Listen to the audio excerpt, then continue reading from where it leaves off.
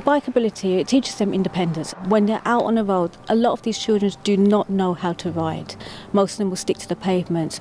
We teach them how to ride proficiently, so they will get the skills, they will understand our four core functions. So they're actually making frequent observations for themselves.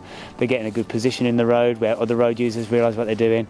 They're learning how to communicate with eye contact and like visually telling people with their position and their, their arms if they need to tell them. And they're actually realising who has priority on the road, especially when it comes to junctions and who goes when, who goes first. Seeing that they've developed a new skill and actually sharing the space on the road is a fantastic thing. But you see them flourish. Some of the ones that are really timid to do it at the start, they're a little bit nervous. They actually like just gain and confidence and just see them grow into the activity.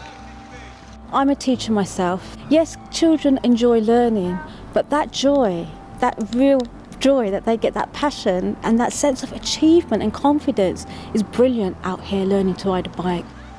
Children not only need to be more active, but they need to connect with the outdoors, they need to have that freedom, they need to make their own decisions. We're empowering the children to be independent.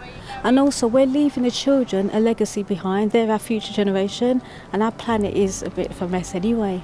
So, the more cyclists, the merrier.